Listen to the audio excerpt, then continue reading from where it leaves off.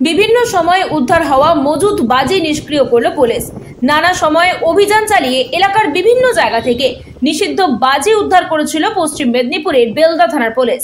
আদালতের নির্দেশে বৃহস্পতিবার মজুদ বাজিগুলিকে নিষ্ক্রিয় করা হয় বেলদা কাঁথি রাজ্য সড়কের অদূরে জকুয়া মাঠে।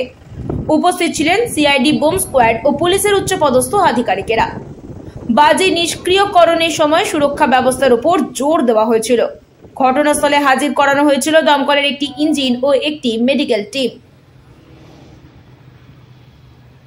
পশ্চিম মেদিনীপুর থেকে নিজস্ব প্রতিনিধির রিপোর্ট, টিভি নিউজ টেন।